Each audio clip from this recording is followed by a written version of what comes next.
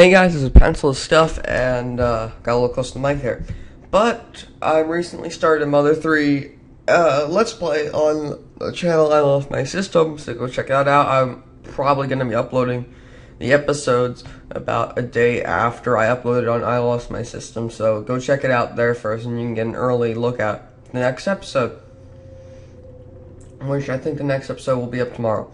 Um, but yeah, someone asked me to uh, show you how to do the fan translation or install it so that you can actually do it in English. Now there are steps to this, but they do seem a bit confusing. You uh, first you should pick out a good emulator. I personally use the Visual Boy Advance, just the regular one, not NOS GBA. The Visual Boy Advance is a lot less confusing. Uh, then you download the Mother 3 fan translation, and here I'll open up my uh, file and then you're uh, you're on your own for finding the Mother 3 zip because I will not help with this for the fact that it is technically it is pirating, so I cannot help you with that. But what you're wanna, gonna want to do is I think this file's already I don't think this is a brand yeah it's like that already. Um, what you want to do is it's already in there, but you know open both. No, no, don't do that. No, no, that's a bad idea.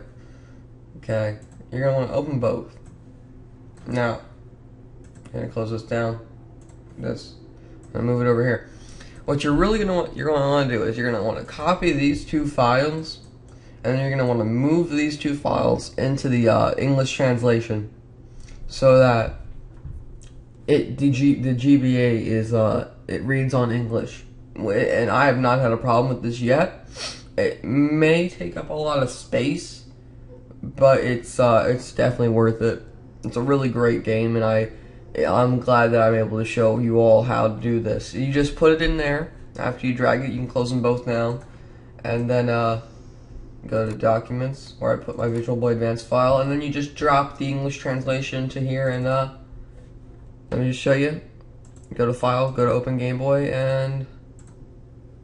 Uh, oh, sorry. You probably just saw it change screen momentarily. Did it pause? No, it did not. Okay uh, you can press any button to continue. And it'll say this is the Mother 3 fan translation. It's a little blurry. I don't know why that is. Game Boy Player, Nintendo, and uh, and what's nice about it is that it you don't have to worry about a save file. Automatically saves. Like when you save it, it automatically saves to the game, which is really a nice feature for this because I've had a couple that you actually have to find the uh, save file. But it doesn't work like that with this one, which is really cool.